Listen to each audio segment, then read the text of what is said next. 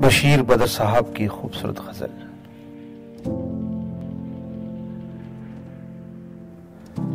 ابھی اس طرف نہ نگاہ کر، میں غزل کی پلکیں سنوار لوں۔ میرا لفظ لفظ ہو آئینہ، تجھے آئینے میں اتار لوں۔ میں تمام دن کا تھکا ہوا، تو تمام شب کا جگا ہوا۔ ذرا ٹھہر جا اسی موڑ پر، تیرے ساتھ شام گزار لوں۔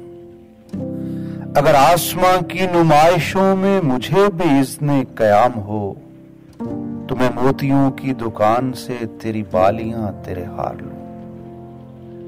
کہیں اور بانٹ دے شہرتیں، کہیں اور بخش دے عزتیں۔ میرے پاس ہے میرا آئینہ، کبھی نہ گرد و غبار لوں۔ کئی اجنبی، تیری راہ میں میرے پاس سے یوں گزر گئے۔ جنہیں دیکھ کر یہ تڑپ ہوئی، تیرا نام لے کر پکار لوں۔